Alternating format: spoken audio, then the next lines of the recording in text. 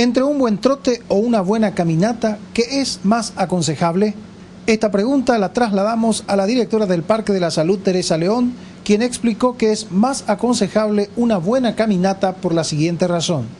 Lo más aconsejable para la vida saludable es hacer una caminata, una caminata a paso apretado que permita al corazón y a los vasos moverse y usar todos los pequeños vasos que están en reposo normalmente y cuando uno aprieta la caminata, entonces eso como que se van abriendo todos los cañitos y uno va caminando y limpiando y circulando bien la sangre.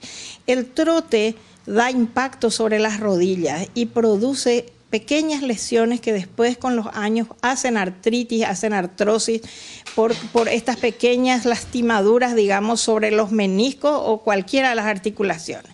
Lo ideal es 30 eh, minutos, tres veces por semana como mínimo, o todos los días 20 minutos, pero tomar el hábito de caminar, de no ser sedentario.